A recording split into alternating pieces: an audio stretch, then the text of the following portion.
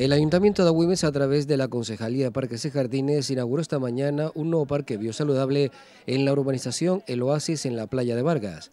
Este nuevo parque se incluye en la segunda fase de una actuación con un presupuesto total de 27.082 euros, cuyo objetivo es dotar de estas infraestructuras a los distintos núcleos poblacionales del municipio.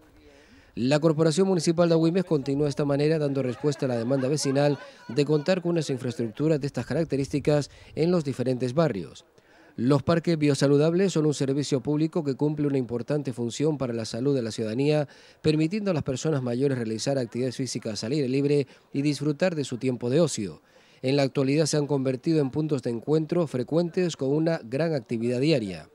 Con la nueva instalación en la urbanización El Oasis en la playa Vargas, el municipio de Agüimes cuenta con un total de 15 parques biosaludables un parque para mayores que incluye aparatos diseñados especialmente para su uso por personas con discapacidad motriz y 32 parques infantiles.